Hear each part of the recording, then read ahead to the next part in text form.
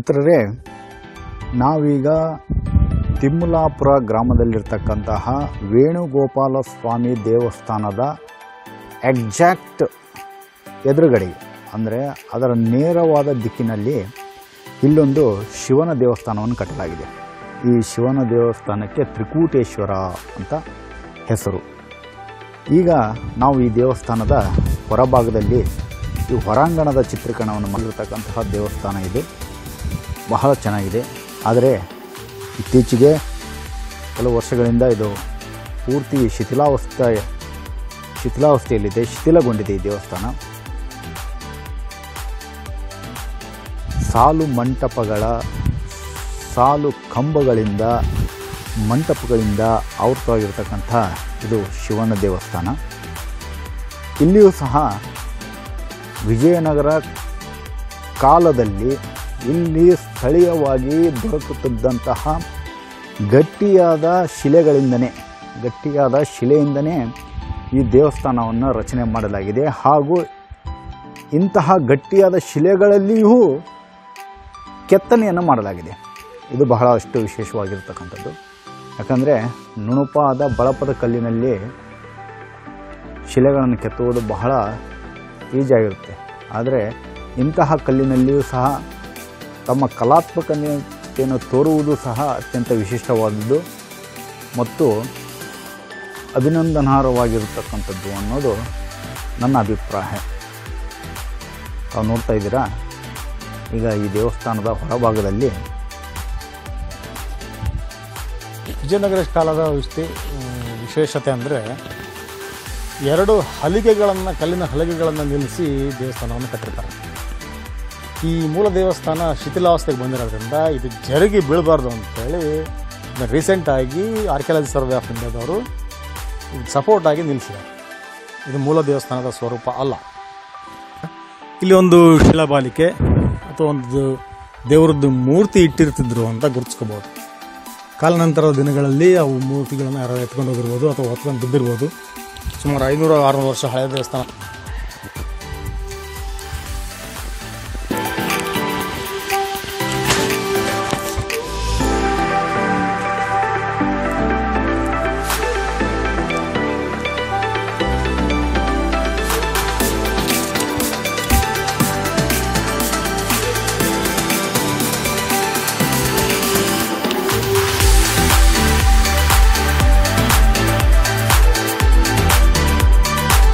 ದೇವಸ್ಥಾನದ ಹೊರಭಾಗದಲ್ಲಿ ವಿಶೇಷವಾಗಿ ನಾವು ಇಲ್ಲಿವರೆಗೆ ಗುರುತಿಸ್ತು ಗುರುತಿಸಿರುವುದಂದರೆ ಈ ಲಕ್ಷ್ಮೀ ವಿಗ್ರಹಗಳನ್ನು ಬಹಳವಾಗಿ ದೇವಸ್ಥಾನದ ಹೊರಭಾಗದ ಬಹಳಷ್ಟು ಕಡೆಯಲ್ಲಿ ಕೆತ್ತಲಾಗಿದೆ.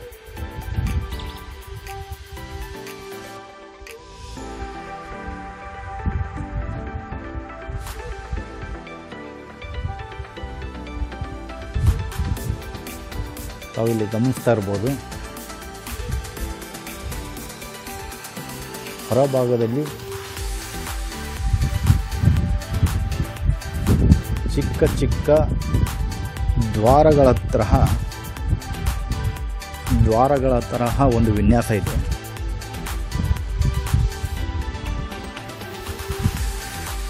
ಇತಿಹಾಸ ತಜ್ಞರ ಪ್ರಕಾರ ಇಲ್ಲಿ ಹೊರಭಾಗದಲ್ಲಿ ಮೂರ್ತಿಗಳನ್ನು ಪ್ರತಿಷ್ಠಾಪಿಸಲಾಗುತ್ತಿತ್ತು ಅನ್ನೋದು ಇದರಿಂದ ಕಂಡುಬರುತ್ತೆ ಅಂತ. ಅಂದರೆ ಈ ದ್ವಾರದಂಥ ಬಾಗಿಲುಗಳಲ್ಲಿ ಇಲ್ಲಿ ಮೂರ್ತಿಗಳನ್ನು, ವಿಶೇಷವಾದಂತಹ ದೇವರ ಮೂರ್ತಿಗಳನ್ನು ಪ್ರತಿಷ್ಠಾಪಿಸಲಾಗ್ತಿತ್ತು ಹೊರಭಾಗದಲ್ಲಿ. ಈಗಲೂ ಸಹ ಸಹ ಕೆಲವು ದೇವಸ್ಥಾನಗಳಲ್ಲಿ ನಾವು ಇದನ್ನು ಗಮನಿಸ್ಬೋದು ಆದರೆ ಈಗ ಈ ದೇವಸ್ಥಾನದ ಹೊರಭಾಗದಲ್ಲಿ ಅಂತಹ ಯಾವುದೇ ಮೂರ್ತಿಗಳು ಕಂಡುಬರುವುದಿಲ್ಲ.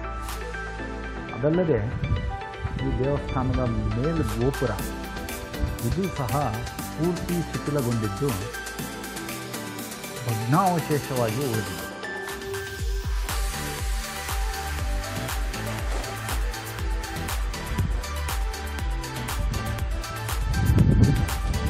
ಬಹಳ ಸುಂದರವಾದ ದೇವಸ್ಥಾನ.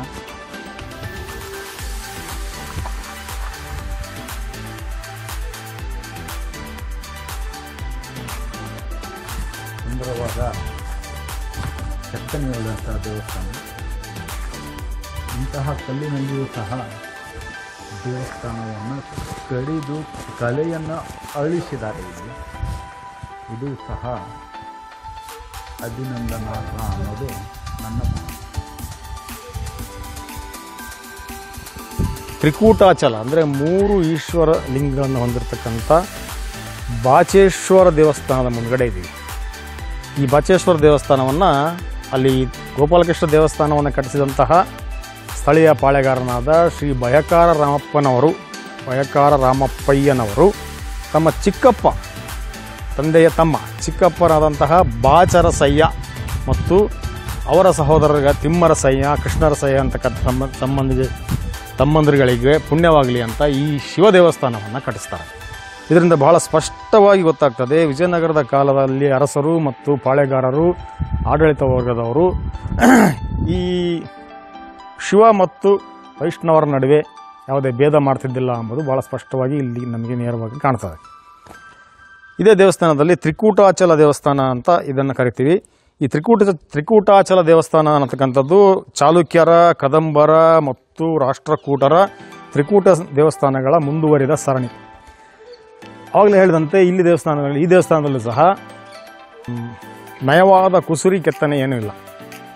ಇಲ್ಲಿ ಸಹ ನಮಗೆ ನೋಡ್ಬೋದು ನಾವು ಬಹಳ ಗಟ್ಟಿಯಾದ ಹಾರ್ಡ್, ಗಟ್ಟಿಯಾದ ಗ್ರಾನೈಟ್ ಶಿಲೆಗಳಿಂದ ಈ ದೇವಸ್ಥಾನವನ್ನು ಕಟ್ಟಿದ್ದಾರೆ.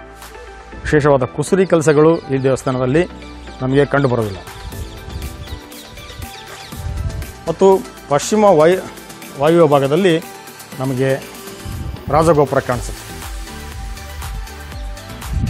ಈ ದೇವಸ್ಥಾನದ ಮೇಲೆ, ಈ ದೇವಸ್ಥಾನದ ಈ ಶಿಲೆ ಹೊರಟು ಕಲ್ಲಿನ ಶಿಲೆಗಳ ಮೇಲೆ ಕೂಡ ನಾವು ಆಗಿನ ಕಾಲದಲ್ಲಿ ಕಂಡು ಬಂದಿರಬಹುದಂಥ, ಜೀವಿಸಿದ್ದಿರಬಹುದಂಥ ವಿಶೇಷವಾದ ವ್ಯಕ್ತಿಗಳನ್ನು ಗುರುತಿಸ್ಬೋದು ಇಲ್ಲಿ ನೋಡಿ, ಇಲ್ಲಿರ್ತಕ್ಕಂಥ ವ್ಯಕ್ತಿ ಪಗಡೆ, ಕಿವಿ ಆಭರಣ ಮತ್ತು ಮೀಸೆ ಬಹಳ ಸ್ಪಷ್ಟವಾಗಿ ಕಾಣಿಸುತ್ತೆ.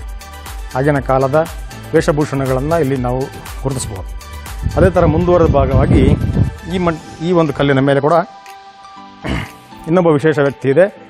ಆ ವ್ಯಕ್ತಿಯ ದಿರಿಸು ಡ್ರೆಸ್ಸನ್ನು ನಾವು ಭಾಳ ವಿಶೇಷವಾಗಿ ಗಮನಿಸ್ಬೋದು ಈಗ ನಾವು ಏನು ಹೆಣ್ಮಕ್ಳು ಚುಡಿದಾರ್ ಟಾಪ್ ಹಾಕಂತಾರಲ್ಲ, ಆ ಥರ ಡ್ರೆಸ್ಸನ್ನು ಆವಾಗಿನ ಗಂಡಸರು ಕೂಡ ಹಾಕೊಂತಿದ್ರು.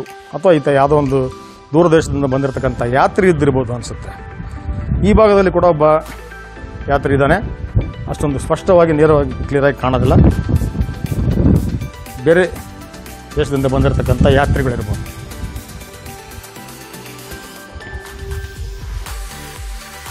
ಯಾರೋ ಒಬ್ಬರು ವಿದೇಶಿ ಯಾತ್ರಿಕನ ಥರ ಕಾಣ್ತಾರೆ. ಚೀನಾ ದೇಶದ ಯಾತ್ರಿಕ ಥರ ಥರ ಕಾಣಿಸ್ತಾ ಇದ್ದಾರೆ ಅಲ್ಲಿ. ಮುಂದ್ಗಡೆ ಗಡ್ಡ, ಆ ಕಡೆ ಈ ಕಡೆ ಒಲೆ, ಮತ್ತು ವಿಶೇಷವಾದ ಡ್ರೆಸ್ ಇದು. ಈ ಥರ ಡ್ರೆಸ್ಗಳಲ್ಲಿ ನಾವು ನಮ್ಮ ಭಾರತ ದೇಶದಲ್ಲಿ ಹಾಕ್ಕೊಂಡಿದ್ದು ನೋಡಿಲ್ಲ. ಕೆಲವೊಬ್ಬರು ಚೀನಾ ದೇಶದ ಕೆಲವೊಂದು ಯಾತ್ರಿಕರು ಈ ಥರ ಹಾಕ್ಕೊಂಡಿದ್ದಾರೆ ಅಂತ ಎಲ್ಲ ಕೇಳಿದ ನೆನಪಿದೆ.